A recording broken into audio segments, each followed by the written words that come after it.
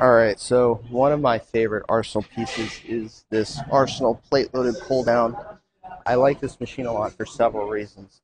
Um, so first off, it has a really long lever arm, so I don't need to load like seven plates.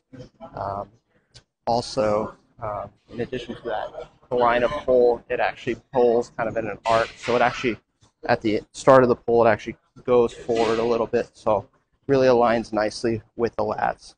Um, like I said, it is pretty length and focus.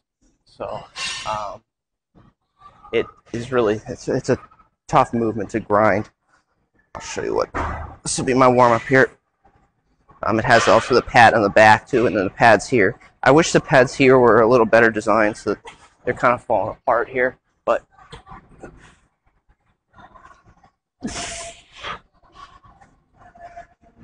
so the handle swivel, which is nice really can stretch. and then it really pulls through.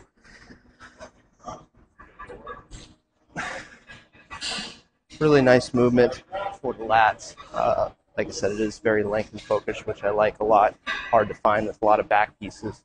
Uh, yeah, this this honestly might be my favorite Arsenal piece.